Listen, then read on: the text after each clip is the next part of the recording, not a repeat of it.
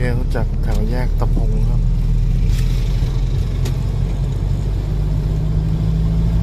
เข้าเส้นใน ที่ระยองครับ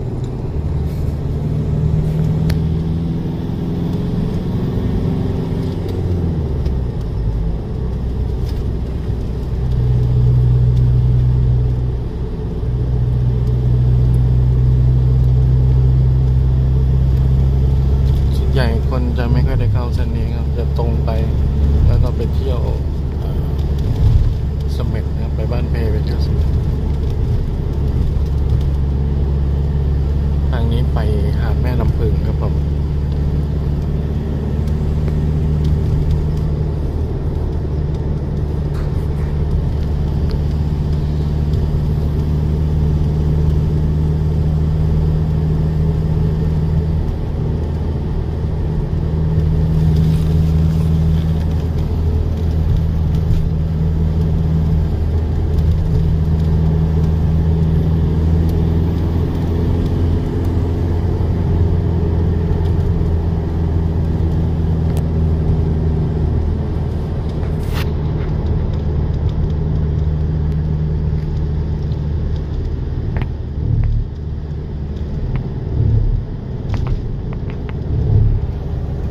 นี่เป็นสถานีอุตุนิยมวิทยาระยองครับ น่าจะเป็นเรดาร์น้ำฝนด้วย นี่ก็ริมทะเลครับ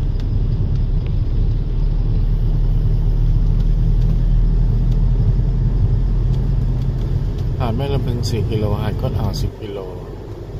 ศูนย์แสดงพันพันสัตว์น้ำระยอง 15 กิโล ผมไม่แน่ใจว่าตรงนี้หาดอะไรนะ หาดแม่ลำพึงอีกสิบอีก 4 กิโลครับ แต่ว่า อันนี้ไม่รู้เป็นแนวต่ออะไร จะมีเรือประมงพื้นบ้านนะครับมาจอด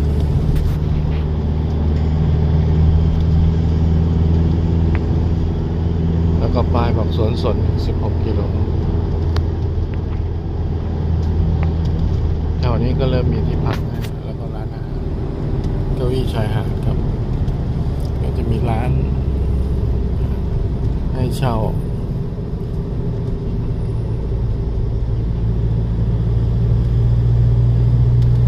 ก็มีห้องพักมีอะไรต่ออะไร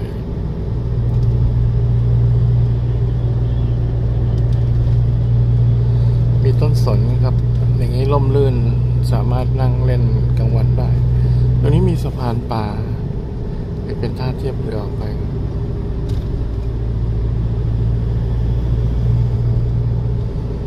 ป้ายด้านหน้าเขาแหลมย่า8กิโล ตลาดบ้านเพ12กิโล นี่ก็มีร้านขายอาหารทะเลสดนะบางคนเขาก็มาซื้อที่นี่แล้วก็ไปทำกินเองนะครับ ก็ต้องสอบถามที่พักด้วยว่าเขาให้ทำอาหารอะไรได้ไหม บางที่ก็ได้ครับบางที่ไม่ได้ บางที่ก็มีบริการเตาด้วย ถ่ายเดือนมกราพูดผิดอีกแล้วครับ เดือนมีนาคม 2562 2019ครับผม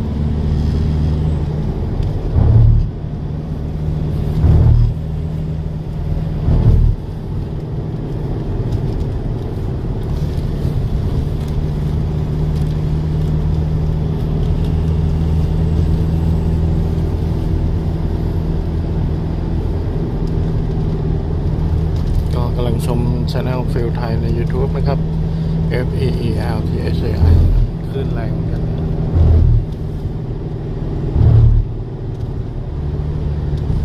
นี่ก็มีร้านอาหารร้านเครื่องดื่มนะครับ แล้วก็ให้เช่าห่วงยางอะไรต่ออะไร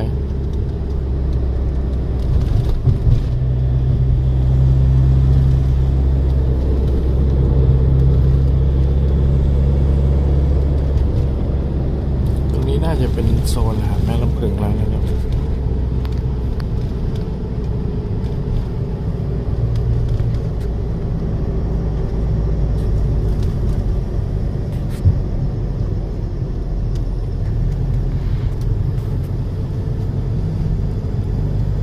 แต่ว่าบรรยากาศยังไม่คึกคักอยู่นะครับ เพราะว่าเป็นตอนเช้าโอ้แต่ก็มีคนมาเล่นน้ำแล้วนะครับ เล่นน้ำก็ระวังด้วยนะครับ ราะว่าบางทีมันจะมีเหมือนกับน้ำพัดออกทะเลนะ ถ้าไปฝืนแล้วก็จะหมดแรงว่ายคลองหัวรถครับ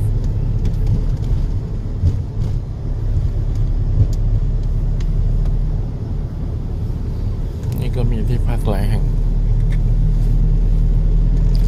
ผมไม่แน่ใจว่าถ้ามา ถ้าไม่มีรถมาเองนะครับ น่าจะมีสองแถวจากบกสเก่าระยองนะครับ ด้านในเมือง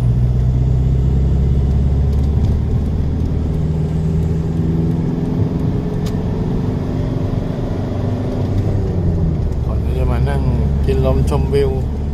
นะครับ เล่นน้ำแล้วก็มากินส้มตำกินปิ้งย่างทะเล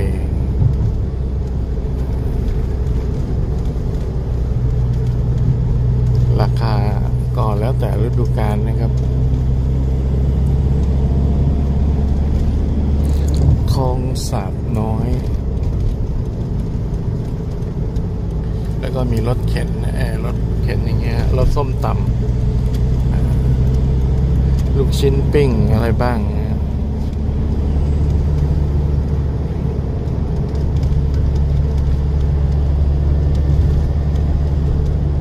นี่ก็จะมีที่พักนะครับ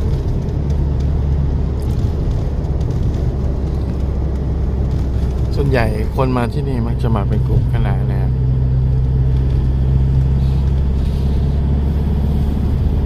แล้วก็ อย่างพวกมีรับน้องอะไรเงี้ยใครรับน้องนี่ก็ระวังเรื่องเล่นน้ำนะตรงนี้มีแนวโขดหินสวยเสียดายไม่ได้จอดถ่ายนะเนี่ยคนก็มาเล่นน้ำถ่ายรูปกัน เข้าเขต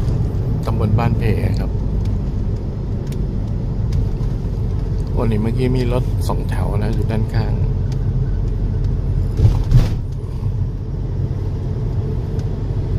นี่ก็ทำเป็นสวนสาธารณะครับ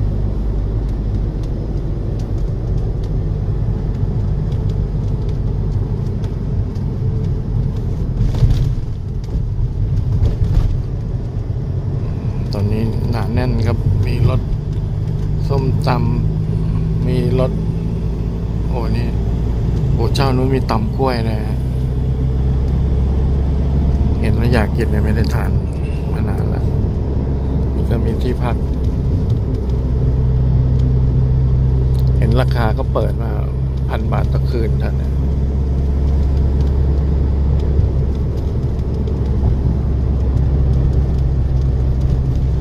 ก็ เป็นสนทะเลนะครับ ก็มีเสน่ห์อีกแบบนะครับ เวลามีสนทะเลเนี่ยบ่ายๆมันจะไม่ร้อนนะ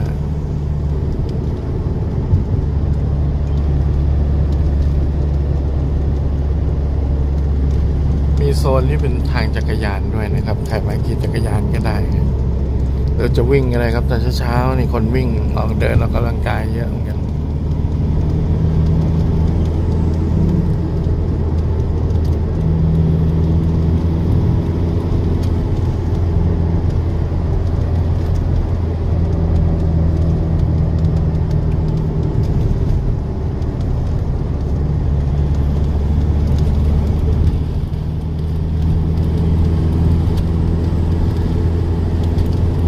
เดี๋ยวอีกไม่ไกลก็ถึงตลาดบ้านเพงเพราะมีคอนโดขึ้นใหม่จัดว่าสูงใหญ่เลย VIP ค อนโดครับ แล้วก็เดอะรอยัลระยองรถส้มตำรถลูกชิ้นนี่ตลอดแนวครับ ก็เป็นโคเป็นโซนๆกัน เขตใครเขตมัน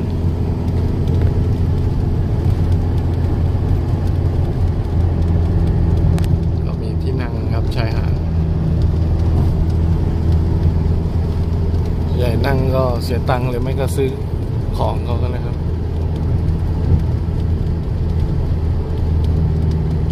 บางจุดก็จะมีห้องอาบน้ำให้นะฮะ เสียตังค์สำหรับคนที่ไม่พักเนี่ยก็มาเล่นน้ำแล้วอาบน้ำกันล้างเนื้อล้างตัวล้างสายออกร้านกาแฟสดก็มีนะ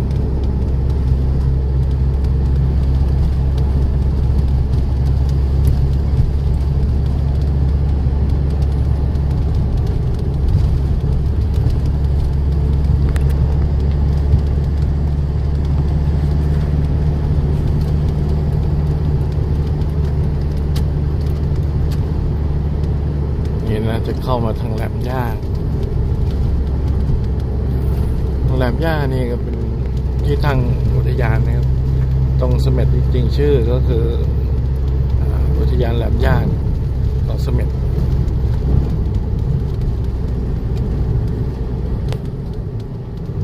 นู่นนะครับแหลมที่ต่อไปอย่างนี้มีตัวแหลมบังไม่งั้นเราก็จะเห็นตัวเกาะสม็ดแล้ว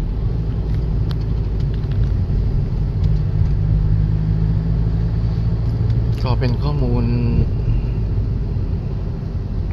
สำหรับการเดินทางนะครับ ใครเป็นมือใหม่ ทุกคนก็ไม่ได้เป็นมือใหม่ เป็นมือเก่ามาก่อนนะครับ เป็นมือใหม่มาทั้งสิ้นแถวนี้จะมีทางเข้ารีสอร์ทเก่าแก่รีสอร์ทหนึ่งนะครับชื่อเอ่อระยองรีสอร์ทนะชื่ออุทยานเนี่ยเขาแหลมย่าเกาะเสม็ดครับชื่อเต็มๆ ตรงนี้ก็มีที่ พักอะไรต่างๆ นี่ก็คือเขาแหลมย่านี่ครับอุทยานแห่งชาติเขาแหลมย่าหมู่เกาะเสม็ดนะฮะของกรมอุทยานแห่งชาติ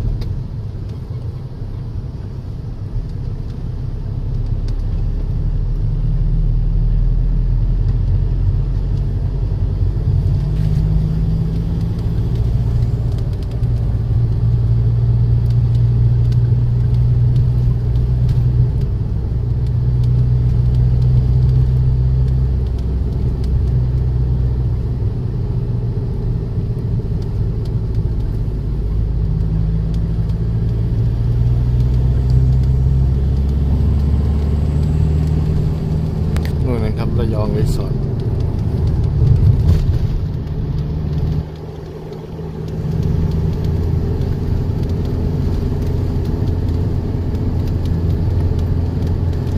โอ้ มีละอองฝนลงมาแล้วครับ มีหน้าฟ้าครึมๆฝนตกลงมาเป็นเม็ดแล้ว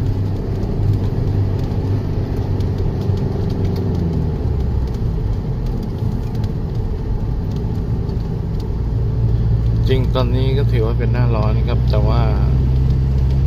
เขาเรียกว่าใกล้ทะเลนี่มีโอกาสมีฝนเกิดขึ้นได้ทุกหน้า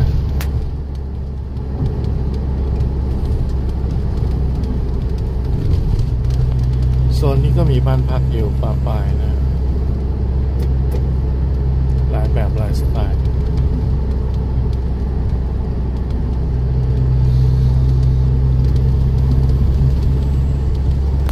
ทางจักรยานยังมีอย่างต่อเนื่องครับผม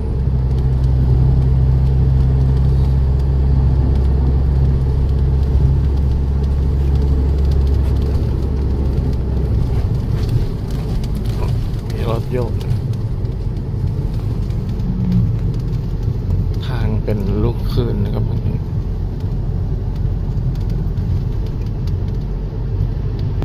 นี่ก็รถนั่งอย่างนี้ฝรั่งชอบครับ ไม่ว่าจะเป็นแถวนี้หรือว่าที่ทางใต้บางจังหวัดกระบี่ชอบนั่งซาเล้งแบบนี้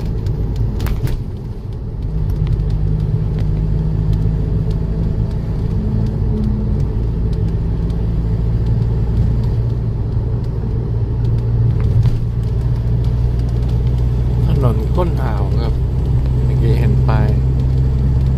ก็ตรงไปเนี่ยมีมีร้านเนี่ยตำนานป่า เป็นร้านดังเหมือนกัน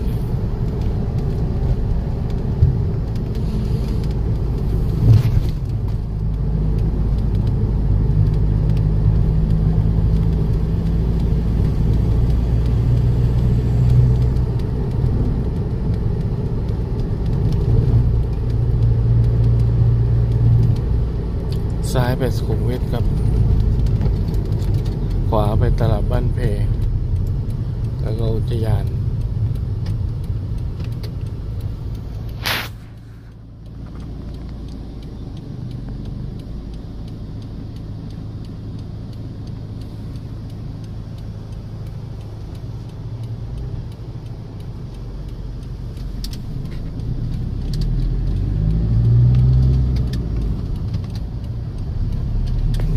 สลิมอยู่ตรงนี้ มุ่งหน้าเข้าทางตลาดบ้านเพง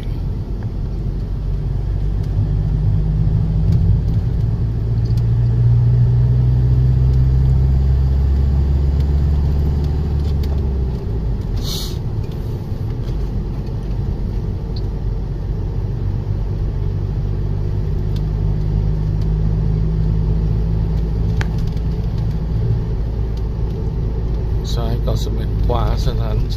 สันธุ์สัตว์น้ำ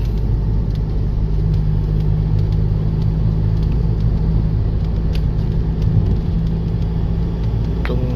ขวานี่ก็ฐานแสดงพันสัตว์น้ำมีคลิปมาหลายอันเหมือนกันนะฮะหลายคนไม่รู้ว่ามีตรงนี้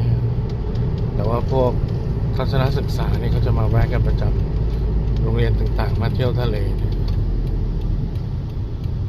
ซ้ายเราไปเกาะเสม็ดไปเกาะเสม็ดก็คือไปบ้านเพนะฮะ ไปตลาดสินค้า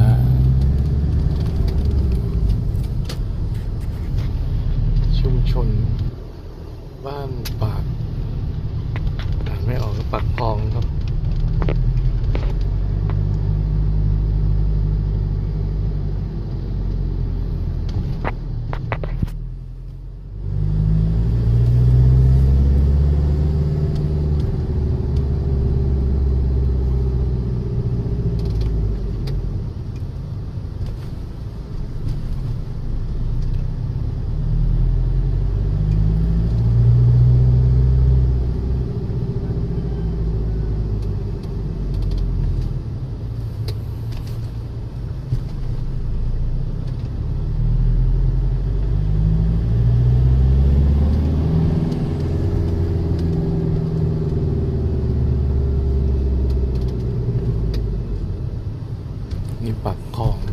นปักทอง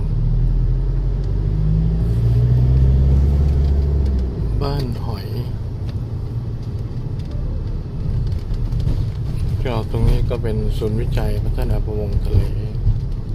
ฐานแสดงพันธุ์สัตว์น้ำระยอง เปิดสิบโมงเช้าถึงเย็น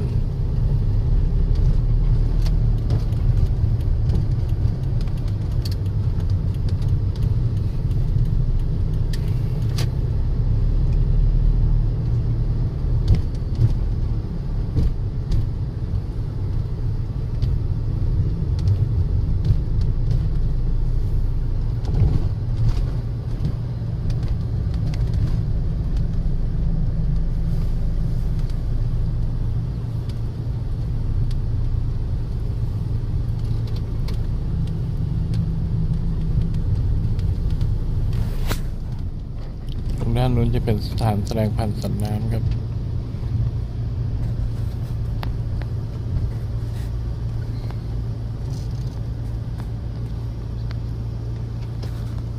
เดี๋ยวมาผมมาลงเรือดูประมงพื้นบ้านที่นี่ เดี๋ยวพบกันใหม่นะครับ กับช anel ฟิลไทยใน YouTube ครับ สวัสดีครับ